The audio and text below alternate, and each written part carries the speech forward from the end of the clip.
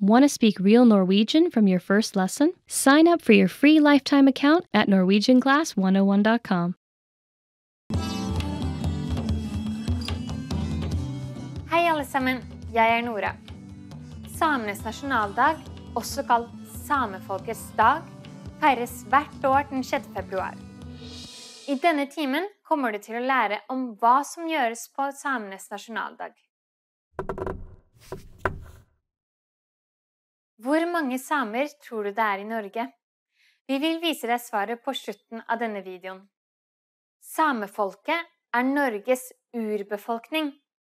Samene er ikke bare i Norge, men også i Sverige, Finland og Russland. Samefolket er derfor et folk i hele fire land. Samefolkets dag er en relativt ny markeringsdag, for den ble ikke vedtatt før i 1992. Fra gamle dager og helt opp til 60-tallet ble samefolket sett ned på, og mange lover ble laget for å gjøre samene norske. Samene fikk ikke lov til å bruke samisk, deres eget språk. Samenes nasjonaldag blir feiret overalt i landet, særlig på skoler. Sameflagget heises, nasjonalsangen synges, og mat laget av reinsdyr eller fisk spises. Samene har også på seg nasjonaldrakten deres. I byen Tromsø har de reinkappkjør, der reinsdyr trekker folk på ski etter seg. Det er ikke bare på skoler samedagen blir feiret. Ordføreren inviterer samer i Oslo-området til heising av flagget og frokost på rådhuset på samenes nasjonaldag. Rikshospitalet i Oslo markerer også samenes nasjonaldag. Der arrangeres det en samisk uke, slik at syke barn med samisk bakgrunn kan få delta på feiringen.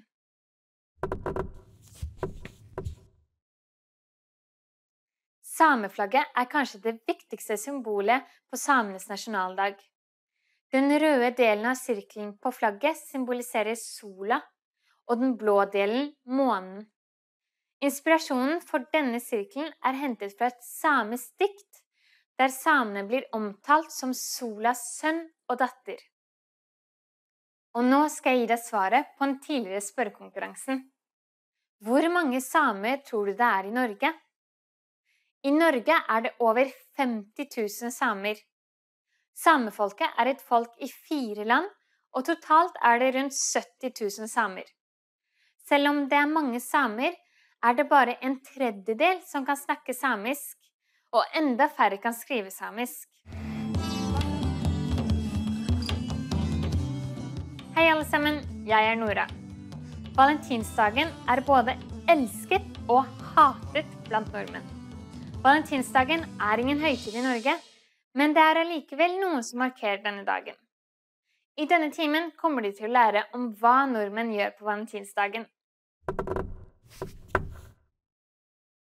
Hvor stor andel av Norges mannlige befolkning tror du vet når valentinsdagen er? Vi vil vise svaret på slutten av denne videoen. Valentinsdagen kan også bli kalt Alle hjerters dag på norsk. Valentinsdagen markeres den 14. februar og er en dag man skal feire kjærlighet og romantikk. Opprinnelig var valentinsdagen en minnedag for helgenen med navnet Valentin, og i middelalderen oppsto det en historie om martyren som het Valentin. En myte sier at Valentin skrev et kjærlighetsbrev før han ble henrettet, og undertegnet det 'Fra din Valentin'. Det er ingen stor utbredelse når det kommer til valentinsdagen i Norge.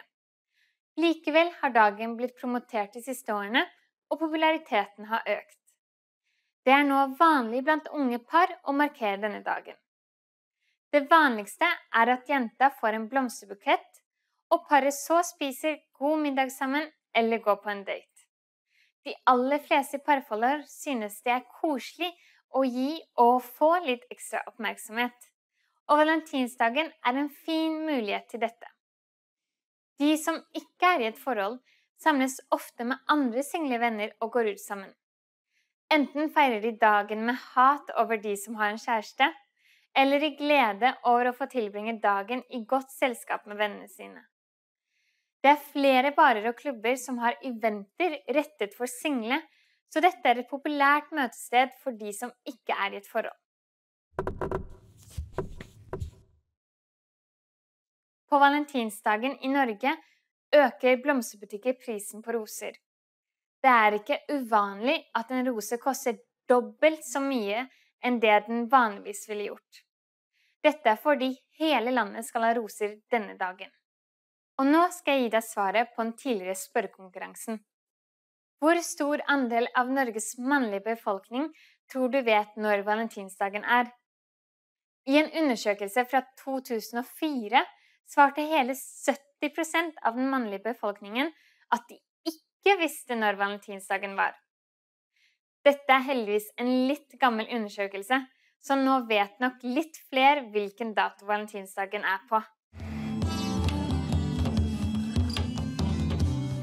Hei, alle sammen. Jeg er Nora. Som i mange andre land blir den internasjonale kvinnedagen også markert 8. mars i Norge. Den internasjonale kvinnedagen har blitt og blir fortsatt sett på som en viktig dag av den norske befolkningen. I denne timen kommer du til å lære om den internasjonale kvinnedagen i Norge. Kan du gjette hvor mange nordmenn som gikk i demonstrasjonstog i 1978? Vi vil vise svaret på slutten av denne videoen. I København, på Sosialinternasjonalens konferanse i 1910, fikk tyskeren Clara Setking innført en internasjonal kvinnedag den 8. mars. Årene etter ble dagen markert i flere land, og Norge markerte kvinnedagen første gang i 1915. Målet den gangen var å gi kvinner stemmerett, men i Norge fikk kvinner stemmerett allerede i 1913. Under andre verdenskrig ble kvinnedagen markert i hemmelighet blant norske kvinner som fant hverandre i motstandsbevegelser og konsentrasjonsleirer. Kvinnefronten, en organisasjon ved Universitetet i Oslo, samlet flere kvinneforbund til demonstrasjonstog i 1972. I de senere årene sank engasjementet for å gå i tog, men kvinner har likevel markert 8. mars i Norge. I 2011 ble det demonstrert mye for merkning av retusjerte modeller, ettersom vrangsforestillingene dette kan gi unge mennesker. Dette er en sak som det fortsatt demonstreres for, fordi det er viktig å forebygge slankepress og spiseforstyrrelser.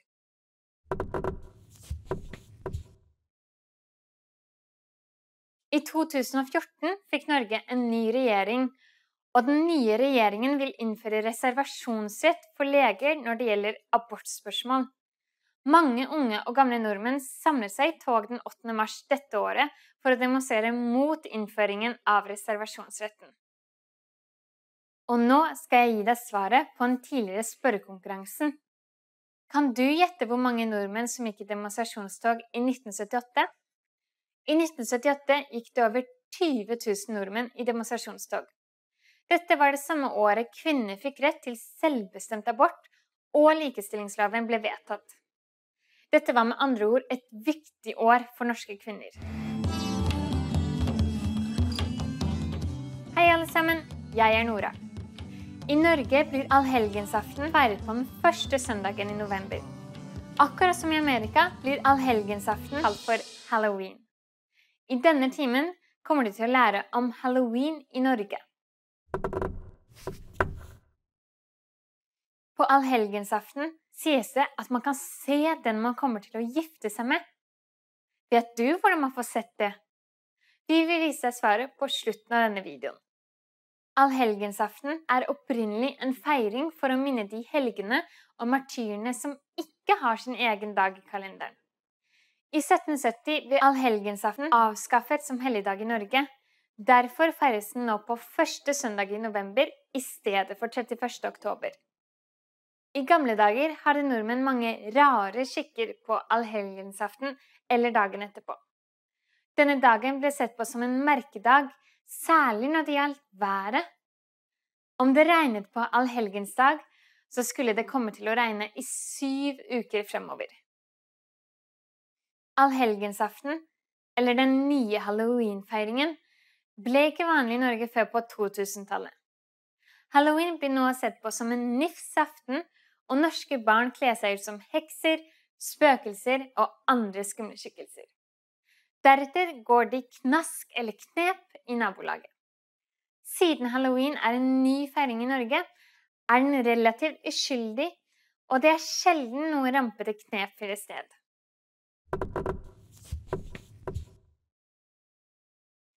Før i tiden mente mange nordmenn at man kunne drømme sant på allhelgensaften hvis man ville drømme om det som skulle komme til å skje, måtte man sove i et rom man aldri hadde sovet i før. Man måtte også legge en ubrukt sopelime under sengen og bruke en kålrot som pute.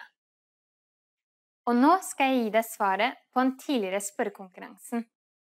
På allhelgensaften sies det at man kan se den man kommer til å gifte seg med. Vet du hvordan man får se dette? For å skulle kunne se hvem man skal gifte seg med, må en jente gå ned baklengs en trapp med et speil foran ansiktet sitt. Hun vil da se ansiktet til den kommende brudgommen i speilet. Hei, alle sammen. Jeg er Nora. Fastelavn er en folketradisjon som blir feiret blant det norske folket. I gamle dager var fastelavn en innledning til den 40 dager lange fasten. Fastelavn varer i tre dager og starter på søndagen syv uker før påske. I denne timen skal du lære om hva nordmenn gjør på fastelavn. Vet du hva man brukte fastelavnsris til i gamle dager? Vi vil vise deg svaret på slutten av denne videoen. Selv om fastelavn betyr kvelden før faste, starter den tre dager før med fastelavnssøndag. På denne søndagen skulle det fråtses og en gammel skikk sa at man skulle spise ni ganger i hvert hjørne av stua si. Så ifølge denne skikken skulle en person spise hele 36 ganger i løpet av en dag. På dag nummer to, kalt blåmandag, skulle nordmenn spise dårlig mat så de var ekstra sultne til feitetirsdag. Grunnen til at denne dagen blir kalt blåmandag, er fordi presten i kirken hadde en blå duk på alteret for å vise at fasten hadde begynt. Nå til dags bruker man ordet blåmandag for hvilken som helst trist dag. I nyere tid er det ingen nordmenn som feirer fastelavn på denne måten, og skikker som f.eks. det å spise 36 ganger er det mange som ikke har hørt om. Det er derimot blitt vanlig å spise fastelavnsboller. Fastelavnsboller er som regel hveteboller fylt med krem, vaniljekrem eller syltetøy.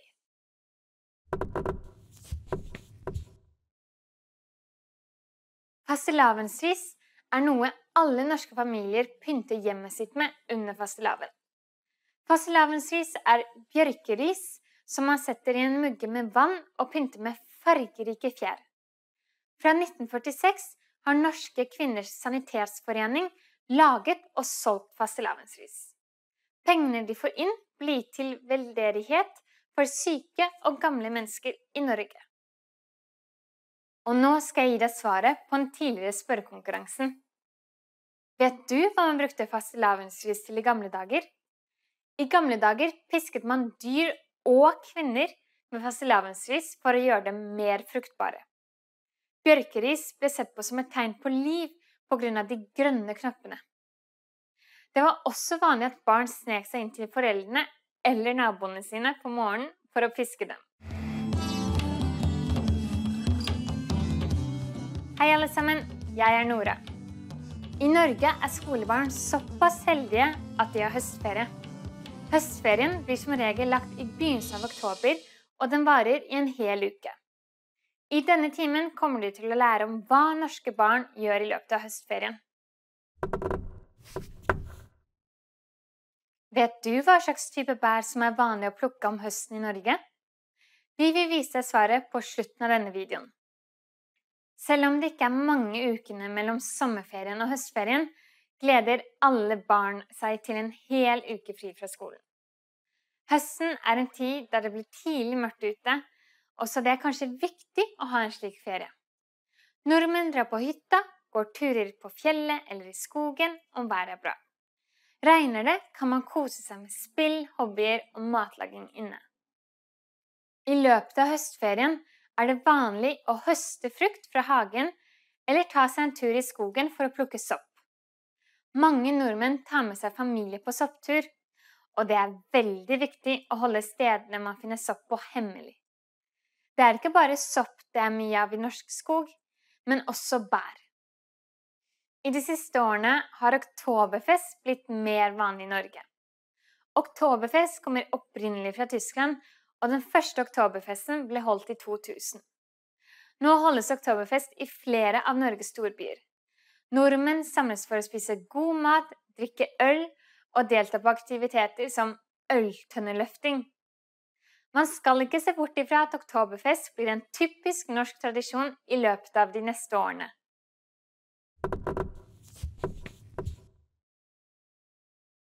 Høstferie het i gamle dager potetferie. Potetferie var ingen tid for ferie, men arbeid. I potetferien holdt skolene stengt, så norske barn kunne hjelpe til med å plukke poteter på åkrene, og så tjene seg noen kroner. Og nå skal jeg gi deg svaret på den tidligere spørrekonkurransen. Vet du hva slags type bær som er vanlig å plukke om høsten i Norge? Blåbær er den typen som er mest vanlig at nordmenn plukker i skogen. Av blåbær kan man lage syltetøy og kaker, så mange nordmenn plukker flere bokser fulle. Blåbærene fryses og varer helt til neste års høst. Hei, alle sammen. Jeg er Nora. Fårikål er Norges nasjonalrett, og nordmenn har faktisk en egen dag viet til denne matretten. Fårikålens dag feires alltid siste torsdag i september, og da blir det spist masse fårikål rundt i landet. I denne timen kommer du til å lære om hva som blir gjort på fårikålens dag. Hvor i Norge tror du det blir spist mest fårikål? Vi vil vise svaret på slutten av denne videoen. Oppskrifter på fårikål kan bli sett i kokebøker allerede fra 1800-tallet, og har vært en populær rett siden. På 70-tallet ble fårikål kåret som Norges nasjonalrett av lyttere til radioprogrammet Nitimen. Grunnen til at fårikål blir verdsatt av så mange, er fordi det er en veldig enkel rett å lage. Fårikål betyr noe så enkelt som får i kål. Kål og fårekjøtt eller lammekjøtt blir lagt lagvis i en gryte med salt og hele pepperkorn mellom lagene. Etter dette helles det vann over, og så lar man gryta putre i en to timers tid. Fårikålen serveres med nordmennenes favorittilbehør kokte poteter. Nordmenn bruker fårikålens dag som en anledning til å invitere venner og familie til et avslappet middagsselskap. Fårikål er verken en hverdagsrett eller en selskapsrett, så det er derfor det er så lett å ha en enkel, men hyggelig samling. Rykende varm fårikål nytes i godt selskap utover denne høstkvelden, gjerne sammen med øl eller dram.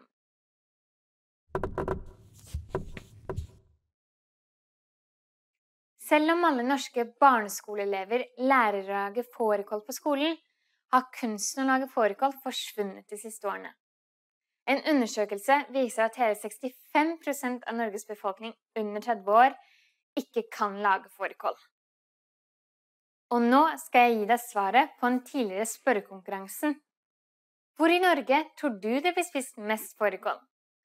Fårikål er mest populært nord i Norge. Det er vanlig at omtrent 80% av nordlendingene spiser fårikål på fårikålens dag eller senere i løpet av høsten. Hei, alle sammen. Jeg er Nora. Er det én ferie alle nordmenn ser frem til, så er det sommerferien. De fleste norske barn har sommerferie fra slutten av juni og helt til august. Voksne i arbeid har som regel ferie i hele juli. I denne timen vil vi lære om hvordan nordmenn tilbringer sommerferien. Klarer du å gjette hva nordmenn elsker å spise på sommeren? Vi vil vise deg svaret på slutten av denne videoen. Er man i Norge på sommeren, kan man se at det kryr av båter langs kysten. Nordmenn er glad i den norske skjærgården og drar ofte på båtturer til de mange øyene. Her slapper man av, soler seg, bader, fisker krabber og griller.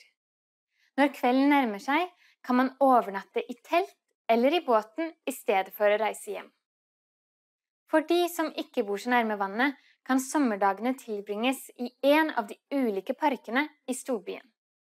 Det er nemlig helt vanlig å se venner og familie sole seg i bikini, spille frisbee og fotball. Igjen dukker favoritten opp grilling. Grilling hører nemlig til sommeren for en nordmann. I løpet av sommerferien er det mange musikkfestivaler som blir holdt rundt omkring i landet. Festivallivet er populært for både små og store, men kanskje aller mest blant ungdommen. Nordmenn koser seg med øl i sola mens de hører på musikken som spilles. Om det skulle regne, mister ikke nordmennene festivalstemningen. Da tar de på seg regnponcho og den populære sydvesten.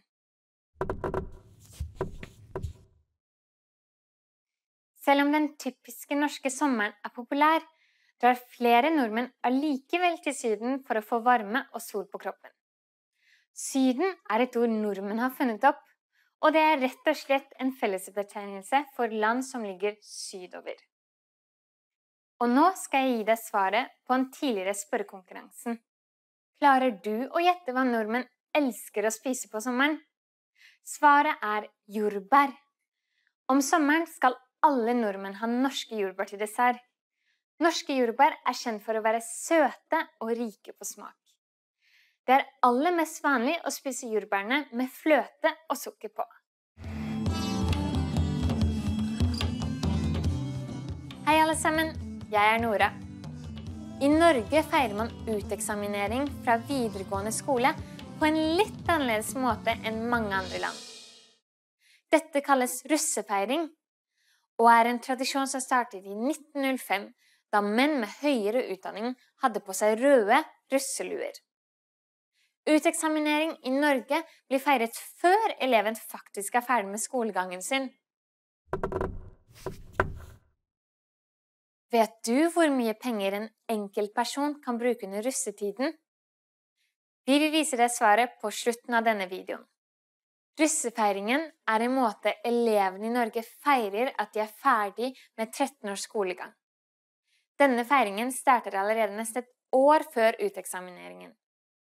Da drar alle elevene på russekro med russebuksa på vranga. Når klokka blir tolv på kvelden, blir alle buksa riktig vei, for da blir de russ. I løpet av mai-måneden er det mange russetreff, eventer og festivaler, så all russ i hele Norge kan treffes. Natt til 1. mai er det vanlig at veldig mange russ kjører rundt i russebilene eller russebussene deres hele natten. Gjennom nattmørket stopper de på forskjellige steder, drikker, danser og hygger seg. Dette er selvfølgelig noe ikke beboere eller politiet hygger seg over. Russen fester til morgengry, siden 1. mai er en offisiell fridag i Norge. 17. mai, Norges nasjonaldag, er den siste dagen i russefeiringen. Da går russen i parade ved siden av barna, synger, deler ut russekort og noen ganger spurte vann på folk. Etter 17. mai-toget har russen sin egen parade, russetoget. Her går de iført russebukser, skriver store plakater om hva de står for, eller ting de ønsker å endre med samfunnet.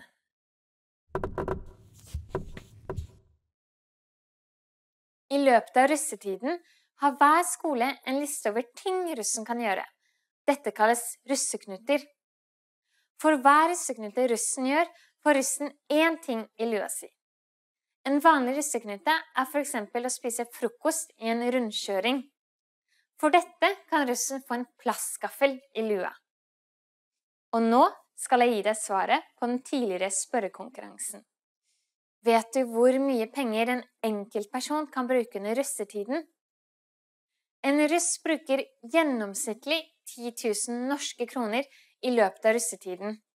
Men det finnes også elever som bruker 100 000 norske kroner. Hei, alle sammen. Jeg er Nora. Norges grunnlovsdag feires på 17. mai hvert år og er en viktig dag for enhver nordmann.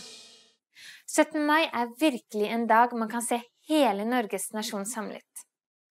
Nordmenn kaller grunnlovsdagen for nasjonaldag, eller rett og slett 17. mai. I denne timen vil du lære om hvordan nordmenn feirer nasjonaldagen sin.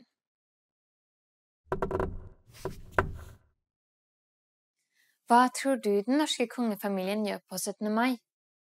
Vi vil vise deg svaret på slutten av denne videoen.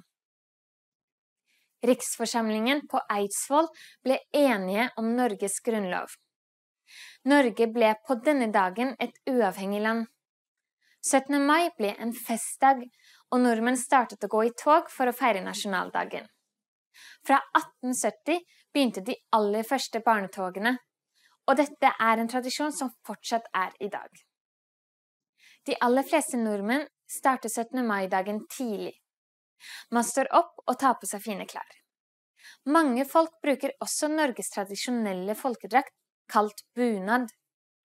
Deretter drar alle barn til den plassen hvor barnetoget skal starte, og foreldre og familie står langs gatene for å se på toget som går forbi.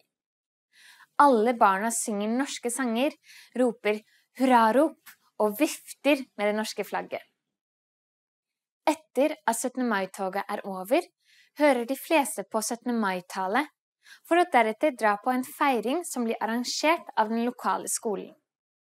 På disse feiringene synger barna sanger, leker, har sekkeløp og potetløp. Om en familie ikke har småbarn, griller de ofte med familie og venner i hagen.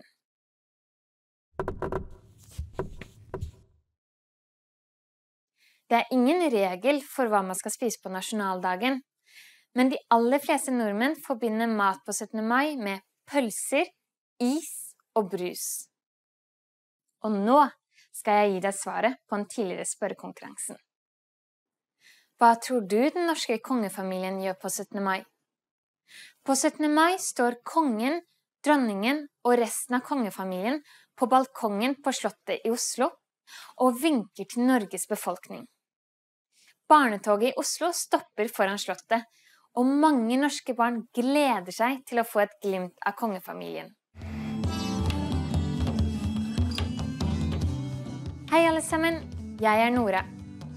Sankthansaften feires den 23. juni og er en kveld nordmenn setter pris på. Sankthansfeiringen er historisk sett til minne om døperen Johannes' fødsel, men det er også en feiring for midtsommer, eller sommersolverv. Sankthansaften kan også bli kalt jonsok, som kommer av norrønt. Jonsok betyr våkenatt for Jon. I denne timen kommer du til å lære hvordan nordmenn feirer sankthansaften. Hvor høyt tror du det høyeste sankthansbålet i Norge hittil har vært? Vi vil vise deg svaret på slutten av denne videoen. Selv om sankthansaften som en folketradisjon ikke er like sterk lenger, feires den allikevel. De aller fleste nordmenn starter feiringen av sankthansaften på ettermiddagen. Venner og familie samles for å spise og drikke sammen, og det er vanligst å grille. Etter dette leker barn og voksne, eller bare slapper av med prating. Dagen etter sankthansaften er ikke lenger en fridag, så det finnes en del nordmenn som nå lar være å feire sankthansaften. Etter man har spist og kost seg i flere timer, drar alle sammen og ser på at sankthansbålet blir tent. Langs Norges kystlinje kan man se bål ett etter ett og mennesker som samles rundt de store bålene. Å se på sankthansbålet brenne i skumringen er noe nordmenn synes er ekstra fint. Noen steder, som i nord, er det også en tradisjon å gå opp i fjellene for å se på bål. På sankthansaften i Norge er det ikke bare bål som blir satt fyr på, men også båter. På Sørlandet, i Flekkfjord, er det vanlig å sette fyr på en gammel båt som er fylt med brennbare materialer. Denne tradisjonen startet på 1800-tallet, da ungdommer fant en gammel båt, fylte den opp tente den på, og så dro denne båten med seg omkring i gatene. Grunnet brannfare blir denne båten nå ankret på sjøen og tent på der.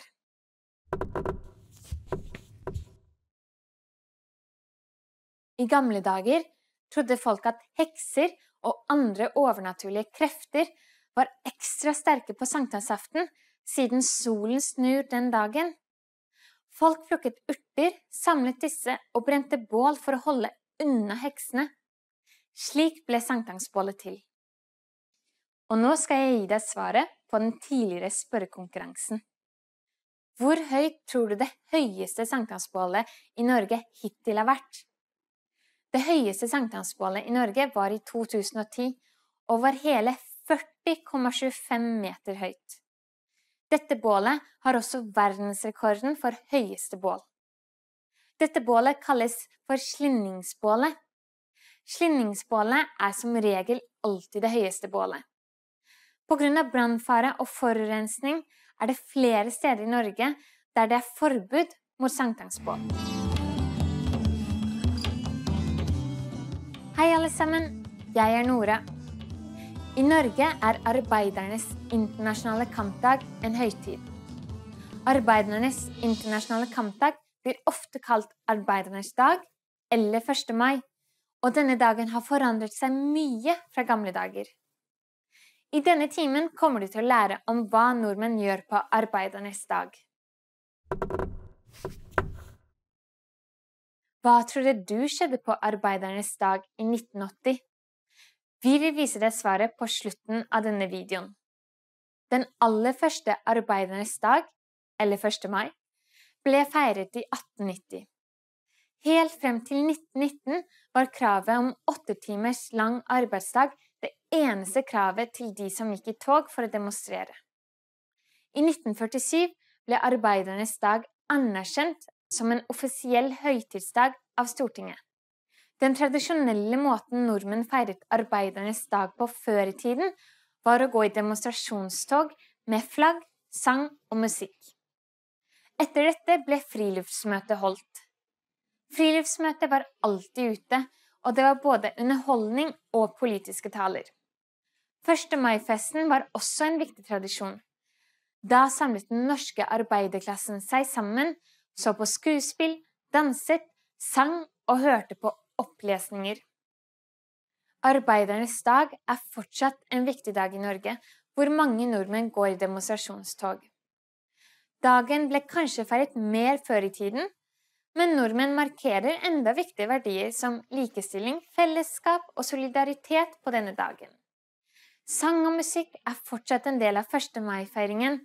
Derfor har det blitt vanlig å holde gratiskonserter i de større byene for å ta vare på denne tradisjonen.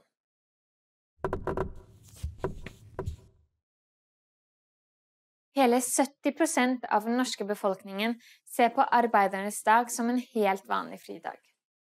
De aller fleste bruker 1. mai som en dag de kan slappe av, gjøre hagearbeid eller dra på båttur.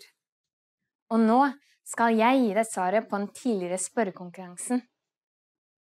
Hva tror du skjedde på arbeidernes dag i 1980?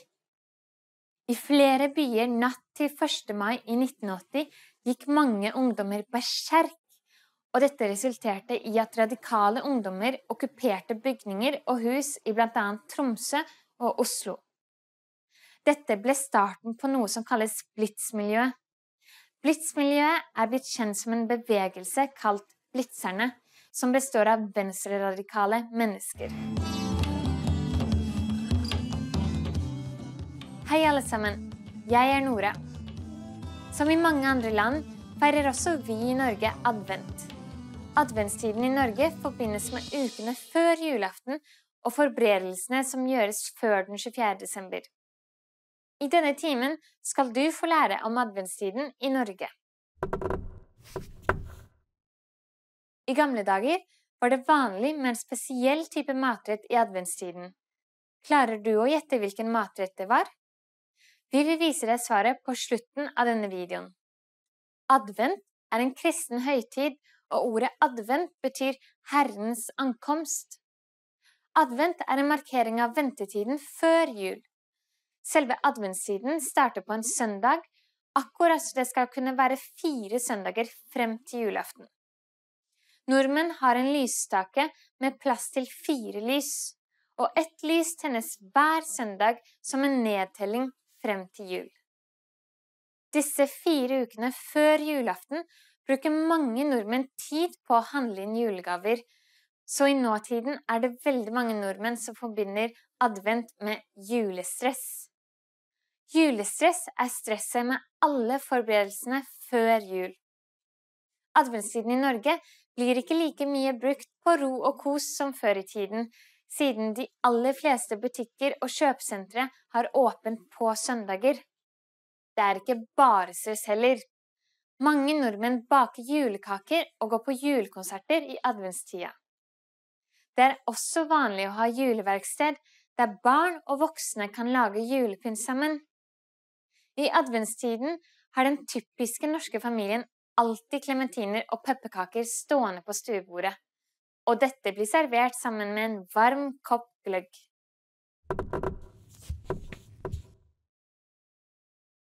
Siden nordmenn liker å telle dagene frem til julaften, har de også julekalender eller adventskalender.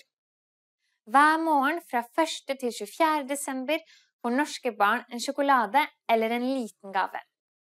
Julekalender kommer også i form av TV-programmer, og man kan se én episode hver dag frem til julaften. Særlig programmer om nisser er populært. Og nå skal jeg gi deg svaret på den tidligere spørrekonkurransen. I gamle dager var det vanlig med en spesiell type matrett i adventstiden. Klarer du å gjette hvilken matrett det var? I gamle dager spiste nordmenn mye lutefisk i adventstiden. Det var vanlig å faste før all den fete maten på julaften, så fiskeretter, særlig lutefisk, ble servert. Derfor er det vanlig i nåtiden at mange nordmenn spiser lutefisk i desember. Hei, alle sammen. Jeg er Nora. I Norge feires Lucia-dagen den 13. desember. Lucia-dagen er en blanding av to tradisjoner helgenen Lucia og farlige Lucy. I denne timen skal du få lære om disse to tradisjonene og hvordan nordmenn feirer Lucia-dagen. Vet du hvorfor helgenen Lucia festet lys til hodet sitt? Vi vil vise deg svaret på slutten av denne videoen. I gamle dager hadde nordmenn en annen kalender og natten fra 12. til 13. desember var den lengste og mørkeste natten i året. På denne natten trodde folk at Lucy og trollene tuslet omkring for å sjekke om folk var i gang med juleforberedelsene. Om juleforberedelsene ikke var i gang, ble Lucy forferdelig sint. Trollene kunne ta med seg mennesker og dyr som var ute den natten, så alle måtte holde seg inne. Den andre Lucia-dagtradisjonen stammer fra den sicilianske helgenen Lucia. Lucia ville hjelpe de fattige kristne ofrene som ble forfulgt, i stedet for å gifte seg. Brudgommen, som hun var lovet bort til, følte seg sviktet og sladret. Lucia ble da straffet og led en martyrdød. I nyere tid blander nordmenn disse to tradisjonene, og vi får den norske Lucia-dagen. Det er vanlig at barn går i Lucia-tog på skoler, sykehus eller eldrehjem. Barna kler seg ut som Lucia med lysekrans på hodet og terner med lys i hendene. Alle er iført hvite drakter. Mens de går i tog, synger de Lucia-sangen og deler ut lussekatter.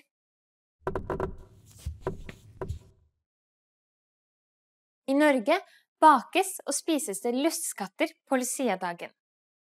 Dette kommer av en tysk tro, der det sies at en liten gutt i Kristus skikkelse delte ut gule boller til de snille. Safran ble puttet i lusskattene fordi djevelen som ga slemme barn juling, likte ikke den sterke gule fargen.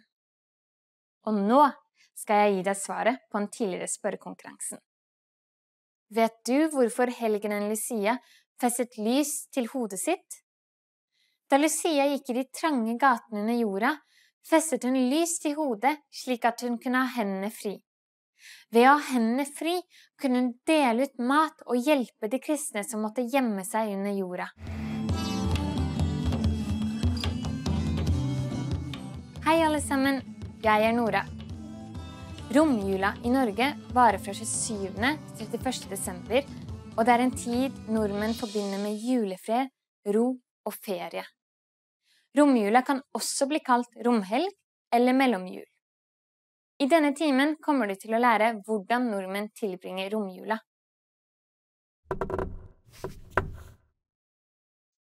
Vet du hva ordet romhelg egentlig betyr? Vi vil vise deg svaret på slutten av denne videoen. I romjula er det skolefri, og en del arbeiderne har fri fra jobben. Derfor tilbringes romjula i fred og ro, men gjerne med familiebesøk. I romjula inviterer familier hverandre på besøk til lunsj eller middag, for all restemat fra julaften må spises opp. I Norge går man ofte julebukk i romjula. Julebukk betød før i tiden å slakte en geit for å få et godt år. I gamle dager kledde ungdommen seg ut, gikk med et geiteskinn og bukke eller hornmaske. Ungdommen tullet, sang, danset, ble skjenket og fikk julemat. I nåtiden forbinder vi julebukk med barn som kler seg ut, går fra nabo til nabo og synger julesanger.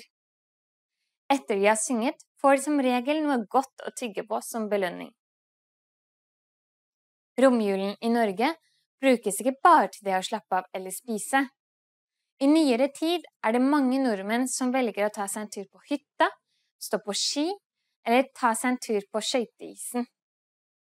Det er også nordmenn som foretrekker å bruke romjula til å bytte julegaver eller handle på salg.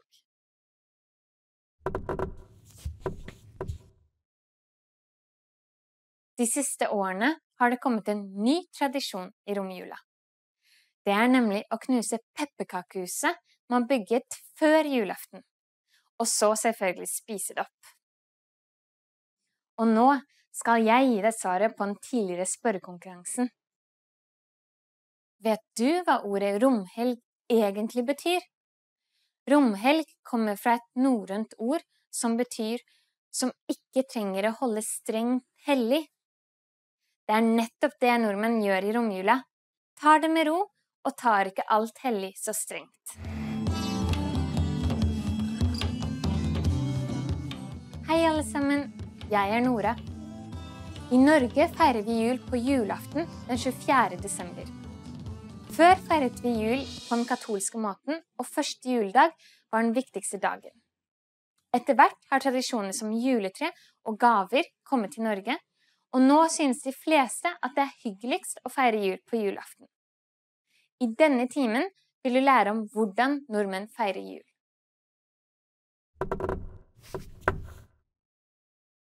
Vet du hva nordmenn putter opp i julegrøten? Vi vil vise deg svaret på slutten av denne videoen. Julesendingen på TV er en viktig del av julemorgen i mange norske hjem. Mange nordmenn føler at ikke julesendingen er komplett før de har sett det tsjekkisk-tyske eventyret Tre nøtter til Askepott, Disneys julekavalkade og den norske eventyrfilmen Reisen til julestjernen. Tidlig om kvelden samles hele familien for å spise julemiddagen sammen. Noen familier spiser kjøtt, andre spiser fisk som hovedrett. Ribbe og lutefisk er to store juleklassikere. Også har vi poteter og surkål som tilbehør. På bordet står det små drømmeglass. De er fylt med akevitt. En norsk sprit laget av poteter. Nordmenn liker poteter, Akevitt sies å hjelpe fordøyelsen av all den fete julematen. Om kvelden samler vi oss i stuen for å synge julesanger mens vi går i ring rundt juletreet. Også pakker vi opp gavene som ligger under juletreet. Ofte er det minstemann i familien som må lese opp navnene som står på pakkene, og dele dem ut.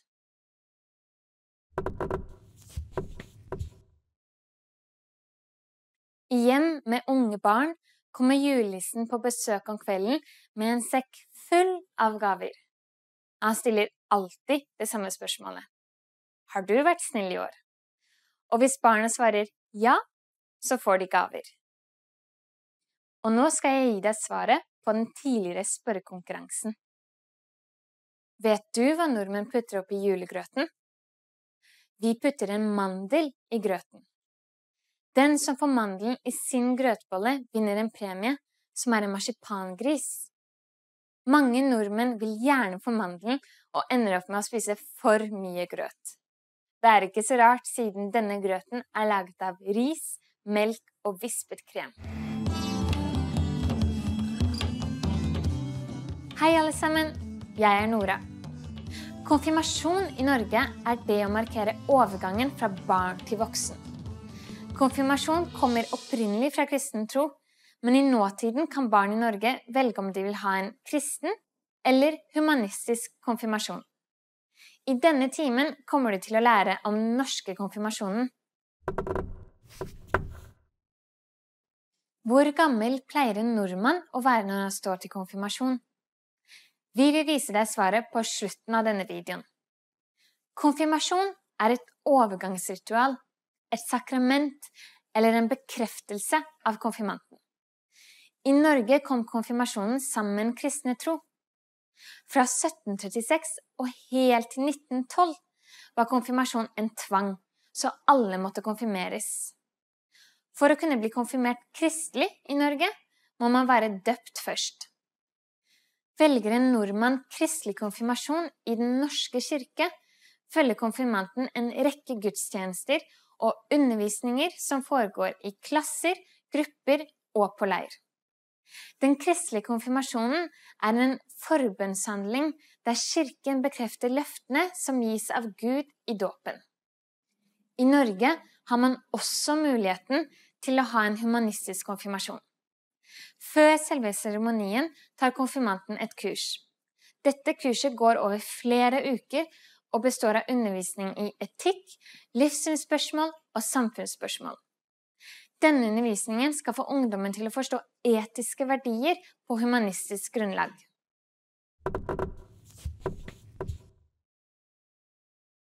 Etter selve seremonien er det selskap for konfirmanten. I dette selskapet holder familiemedlemmer taler for konfirmanten, og konfirmanten selv holder også en tale. Etter talene blir det servert mat på koldtbord, og konfirmanten får presanger. Vanlige presanger er ofte bunad, penger eller smykker. Og nå skal jeg gi deg svaret på den tidligere spørrekonkurransen. Hvor gammel pleier en nordmann å være når han står til konfirmasjon? En som skal stå til konfirmasjon i Norge, fyller som regel 15 år det året konfirmasjonen skal holdes. Dette gjelder både konfirmasjon i Den norske kirke og humanistisk konfirmasjon.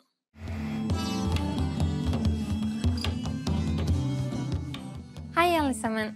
Jeg er Nora. Som i mange andre vestlige land feirer nordmenn det nye året på nyttårsaften den 31. desember. Vi samles blant venner og spiser god mat, drikker musserende eller champagne og fester natten lang. I denne timen vil du lære om hvordan nordmenn feirer nyttår. Vet du hva slags ulykker som er mest utbredt på nyttårsaften? Vi vil vise deg svaret på slutten av denne videoen. I Norge feirer vi nyttårsaften blant venner. Festen skjer som regel hjemme hos noen, og alle deltar i matlagingen. Hver person tar som oftest med seg noe, som f.eks. tilbehør til hovedretten eller en dessert. Nyttårsaften er den dagen flest nordmenn spiser reinsdyr til middag. Kalkun og elgestek er også veldig populært. Det blir mange skålinger i løpet av kvelden, og noen ganger blir det også holdt takk for maten eller takk for året som var taler. En annen viktig tale på nyttårsaften er kongens nyttårstale. Klokken halv åtte om kvelden skrur mange på TV-en på kanalen NRK1 eller på radioen på kanalen NRK P2 for å høre på Hans Majestet Kongen snakke om året som var. Hans Majestet Kongen snakker direkte fra kongehuset ut til det norske folket. Kongens nyttårstale er ikke pompøs, men tvert imot jordnær, og det er det som gjør den så spesiell og verdsatt blant nordmenn. Når klokken nærmer seg midnatt, går alle ut til den nærmeste parken eller Kollen for å se på fyrverkeri som blir fyrt opp på slaget. Mange har med seg eget fyrverkeri der det er lov å fyre det opp selv. Når klokken blir tolv, braker det løs, den mørke natten blir full av lys. Alle klemmer hverandre og ønsker hverandre et godt nyttår. Og hvis du er heldig, får du til og med et kyss.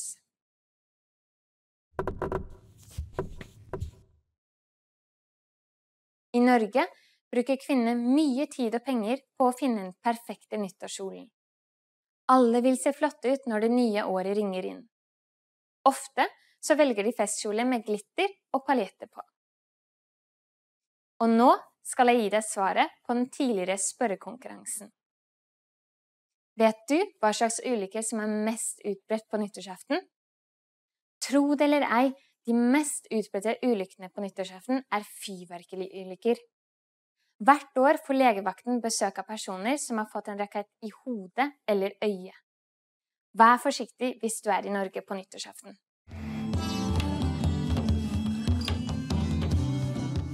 Hei, alle sammen. Jeg er Nora. Akkurat som julen er påsken en viktig høytid for nordmenn. Selv om påske er en kristen høytid, har nordmenn veldig mange andre tradisjoner som blir gjort i løpet av påskeuka. Påskeuka brukes til mye kos og hygge, siden de aller fleste har fri fra skole og jobb. I denne timen kommer du til å lære om typisk norske påsketradisjoner.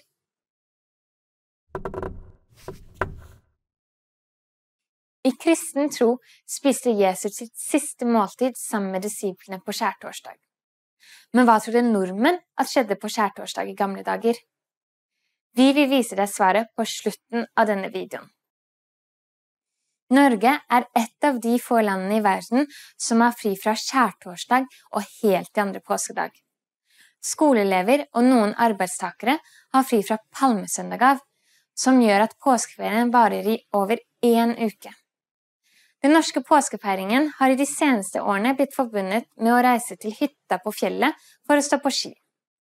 Denne myten stemmer ikke, ettersom de fleste feirer påske hjemme i stedet for å reise på hytta. En viktig begivenhet gjennom påsken er påskekrim. Påskekrim er krimfortellinger enten i form av blader, TV eller radio.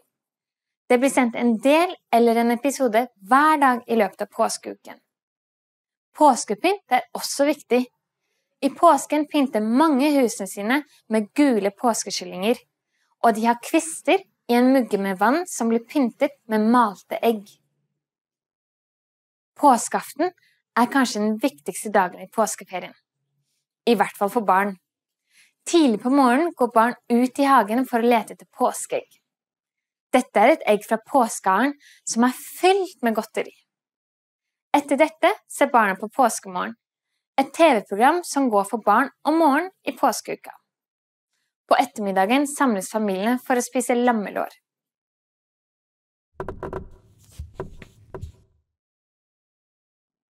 Nordmenn har en tendens til å putte påske foran en del ord. Påsketrafikk er trafikken og køene på norske veier i påskeferien.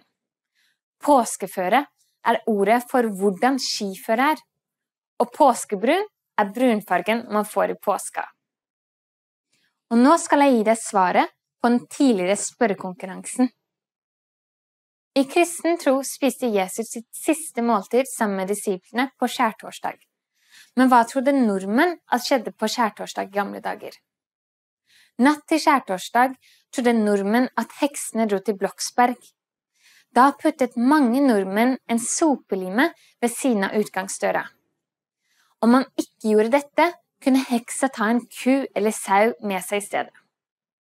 På grunn av denne myten er det mange nordmenn som har en sopelime til påskepynt. Want to speed up your language learning? Take your very first lesson with us. You'll start speaking in minutes and master real conversations. Sign up for your free lifetime account. Just click the link in the description.